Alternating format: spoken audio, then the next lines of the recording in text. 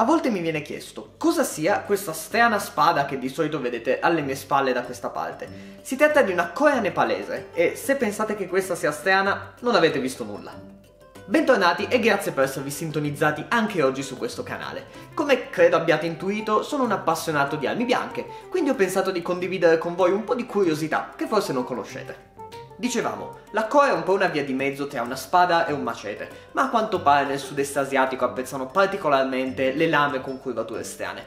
Prendete ad esempio il Kelewang indonesiano, che ricorda un po' i nostri falcioni o scimitarre. Questo in particolare è la sua versione più caratteristica, con questo uncino decorativo sul dorso della lama. Guardate anche questo Kujang, un coltello la cui forma e le cui decorazioni per gli indonesiani hanno un profondo significato simbolico. È molto strano ma anche molto bello secondo me. E sì, purtroppo questo video sarà la festa delle pronunce sbagliate perché portate pazienza, ma a malapena so pronunciare l'italiano, figuriamoci le lingue asiatiche. Mentre siamo in Asia, date un'occhiata a questa, una spada con lama flessibile. Si tratta di un urumi, un'arma indiana che è un po' una via di mezzo tra una spada e una frusta fatta di acciaio affilatissimo.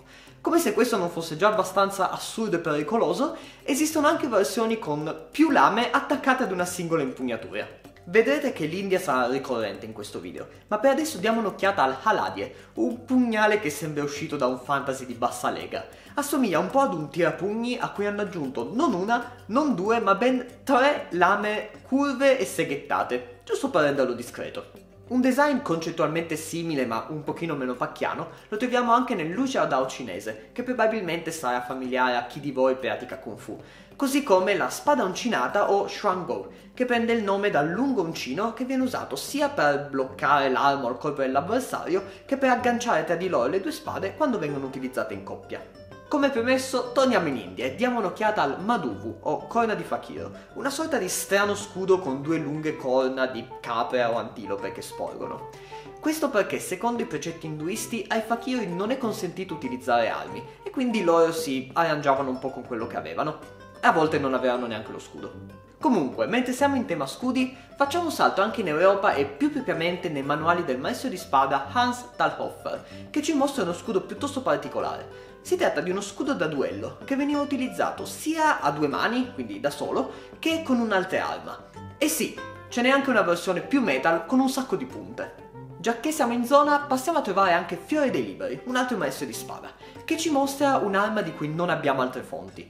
Probabilmente è qualcosa che si è inventato lui mentre era mezzo ubriaco. Il che è plausibile, visto che era friulano. Comunque, dovrebbe trattarsi di un'azza o di un martello da guerra, ma a me sembra più uno spiedino con un marshmallow. Le particolarità del suo design sono il peso legato alla cima dell'asta, che dovrebbe essere usato per far cadere l'avversario, e la polvere urticante che secondo lui dovrebbe essere nascosta dentro la testa dell'arma per accecare il nemico. In quanto a stranezza, vi sfido a fare di meglio. Proseguiamo il nostro viaggio con il pugnale da parata europeo. Lo ammetto, questo non ha nulla di strano, ma mi serve per introdurre il prossimo. Quel che ci interessa è che viene utilizzato per parare e se si riesce per bloccare l'arma avversaria utilizzando i bracci ricurvi della guardia. Ora, da queste idee di base sono sviluppati due diversi tipi di arma. Il primo è il pugnale trilama, la cui lama centrale si apre grazie ad una molla per trasformarsi in un piccolo tridente che aumenta le possibilità di parata. Il secondo è lo spezzalama, le cui scannalature servono a far entrare la spada avversaria per poi bloccarla con una torsione del polso. Procediamo speditissimi perché ho mille cose da farvi vedere. Tra le spade strane europee è d'obbligo citare la Flamberga, questo spadone rinascimentale con la lama ondulata. Ma sapevate che questo tipo di lama si trova anche su altre armi? Guardate ad esempio questa striscia, decisamente esagerata. Ma ho qualcosa anche per voi amanti dell'Oriente. Questo è un Kris, un'arma indonesiana molto molto più antica della Flamberga, da cui forse questa ha preso ispirazione. Quest'altra invece è una spada indiana di cui in realtà non so praticamente nulla, se non che vuole rappresentare un cobra. E nulla, volevo farvela vedere solo perché è stranissima.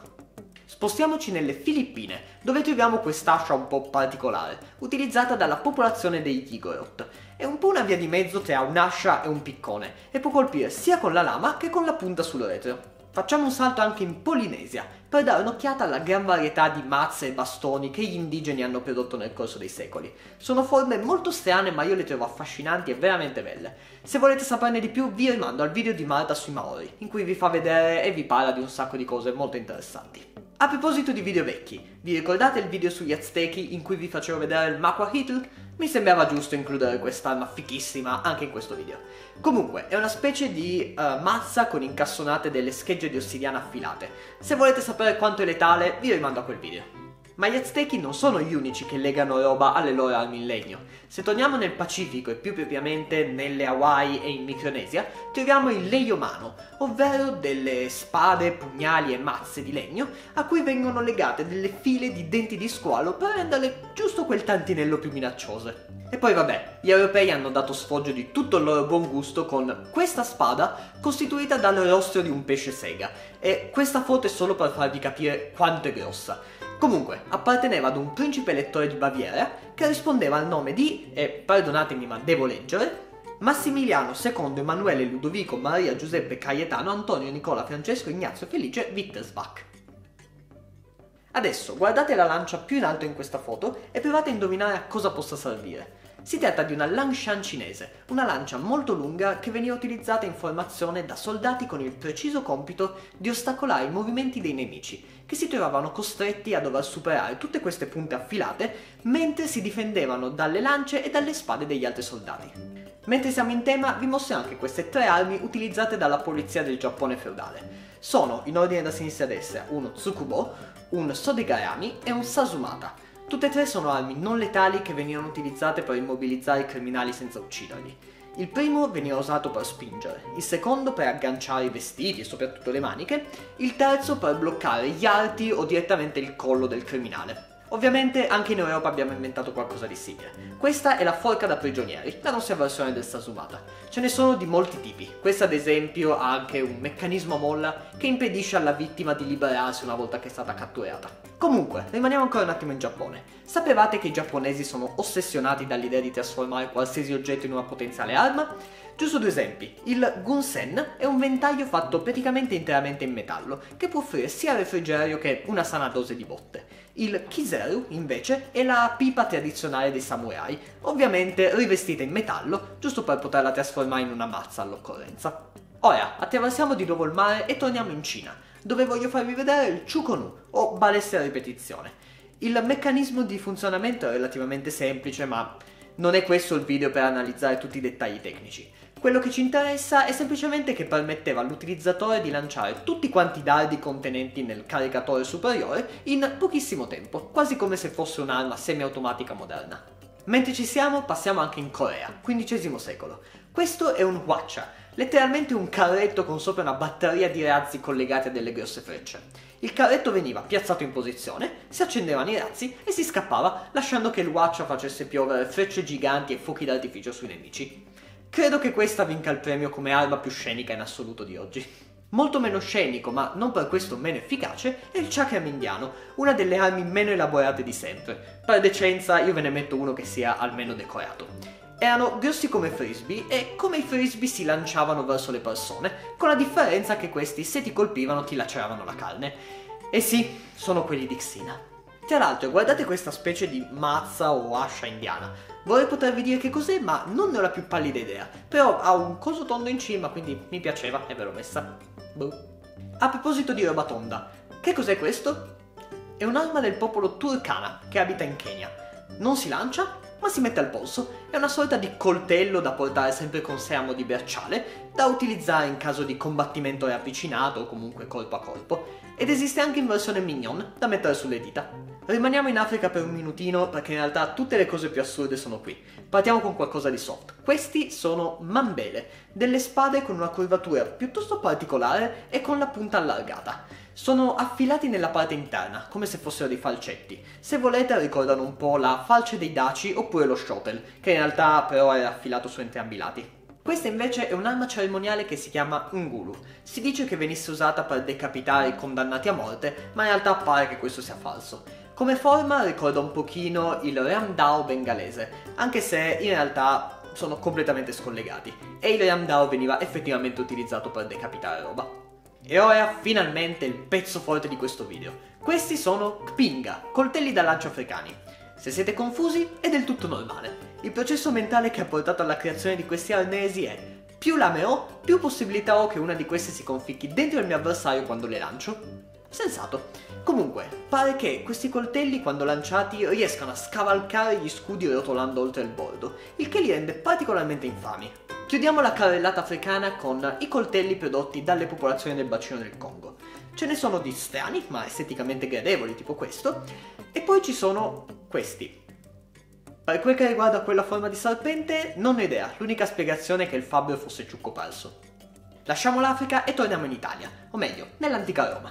Questa è l'arma caratteristica del gladiatore detto scissor. Si tratta di un tubo di metallo che copre completamente l'avambraccio e che culmina con una lama a forma di mezzaluna, che veniva usata sia per attaccare che per tagliare le reti del Reziarius, un altro tipo di gladiatore romano. Un'arma simile la troviamo anche in India, con il nome di Pata, ma invece che una mezzaluna il guanto ha una lunga lama di spada che prosegue parallela all'avambraccio. La Pata ha anche una versione un pochino più discreta, che si chiama Qatar.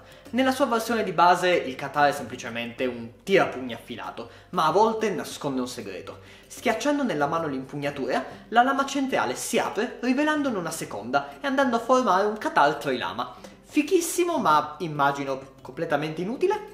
Però vi ho letto nel pensiero. Perché limitarsi a pugnalare la gente quando puoi anche spararle? Non vi preoccupate, gli indiani ci hanno pensato. Vi presento il Qatar Pistola, con ben due canne e due grilletti separati, uno per lato, giusto per aggiungere un pochino di pepe alle vostre risse. E sì, ovviamente hanno anche pensato di mettere la canna della pistola dentro la lama che si apre. Torniamo in Italia per goderci un po' di assurdità rinascimentali. Come non iniziare con il meraviglioso scudo lanterna, un oggetto che sembra uscito da un videogioco ma vi assicuro che è reale. Il kit include guanto d'arma e scudo con diversi spuntoni di varie dimensioni, lanterna per illuminare intorno a sé e anche una lama di spada per non farsi mancare nulla. Sempre in Italia troviamo la pistola lanterna, la cosa più steampunk di oggi.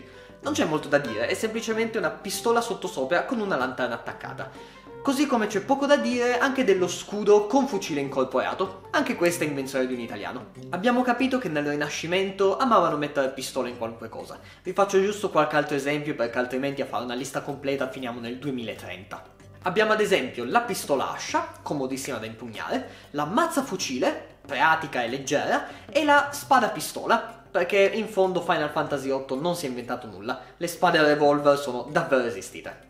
In mezzo a questo delirio credo sia doveroso mostrarvi anche questo design. Un fucile in cui la canna è in realtà l'impugnatura di una spada che viene nascosta nel calcio. Meravigliosamente inefficace ma se non altro astuto. E poi vabbè, andava di moda nascondere cose dentro altre cose. Guardate ad esempio quest'ascia che in realtà è il fodero di una spada, oppure quest'altra ascia che al suo interno ha non solo la canna di un fucile, ma anche un pugnale, giusto per. E poi c'è lei, colei che farà impallidire i designer di Bloodborne. La testa di quest'ascia è un prodigio dell'ingegneria e della follia tedesca. La parte frontale si apre per rivelare 5 canne ad avancarica, tutte quante con il proprio meccanismo di accensione separato. Non chiedetemi come potessi utilizzare una cosa del genere in combattimento, ma è fichissima. Comunque vi dimostro il livello di paranoia tedesca del nascondere pistole ovunque. Queste sono posate con una mini pistola all'interno, questa è una chiave da carceriere con pistola incorporata e questo è un coltello multiuso in cui il cavatappi fa anche da grilletto per una pistola nascosta all'interno. E nel caso siate stanchi di sparare, questo è un bastone da passeggio con lama, martello e supporto per il vostro moschetto. Le pistole nascoste non fanno al caso vostro? Che ne dite allora di qualcosa di un po' più appariscente, tipo un revolver con tamburo da 20 proiettili? Dai, voglio esagerare. Vi offro 8 tamburi da 6 proiettili l'uno. Se invece preferite qualcosa di un pochino meno moderno, vi presento la rivoltina a 24 canne, tutte quante da caricare rigorosamente una per volta. Ma perché sparare un solo proiettile per volta? Vi presento la pistola a piede d'anatra, che vi permette di impallinare dalle 4 alle 9 persone contemporaneamente. Se volete andare ancora oltre, dobbiamo passare al ribadocchino, che poteva avere anche decine di canne montate sulla stessa base. Chiudiamo questo video con qualcosa di un po' più recente, partendo dal fucile con canna curva e periscopio inventato dai tedeschi durante la seconda guerra mondiale. Ovviamente il design era fallimentare e quindi venne scartato. Questo invece è il Panjandriam, un progetto inglese. Per farla semplice si tratta di un barile pieno di esplosivi collegato a due ruote alte 3 metri che venivano fatte girare da una serie di razzi. L'idea era quella di fargli raggiungere i 100 km h e mandarlo a schiantarsi contro le fortificazioni nemiche in modo da farlo esplodere. Peccato che si scassasse appena veniva acceso e quindi anche questo venne scartato. Per finire parliamo dei sovietici, la cui follia progettuale secondo me è inarrivabile. Vi presento lo Zar, il più grande carro armato mai concepito dalla specie umana. E, e, e sì, è, è un triciclo alto 9 metri e fatto completamente d'acciaio. Per ultimo, la ciliegina sulla torta, il carro armato volante Antonov A40. Doveva essere trainato da un aeroplano per poi staccarsi e planare fin sul campo di battaglia. I carri armati non possono volare, ma questo i sovietici non lo sapevano e li facevano volare lo stesso. Ci siamo, eccoci alla fine anche di questo video. Grazie per essere arrivati fino a qui e per favore fatemi sapere se questi sono argomenti che vi interessano almeno un pochino, perché ovviamente a me piace parlarne, però non voglio annoiarvi. Come sempre valutate l'opzione di iscrivervi al canale e di lasciarmi un mi piace se pensate che sia meritato. E se vi va seguiteci anche su Facebook e Instagram per avere un contatto un pochino più diretto con noi. Io vi saluto e finalmente me ne vado a dormire perché è tardissimo e sto morendo di sonno. Alla prossima!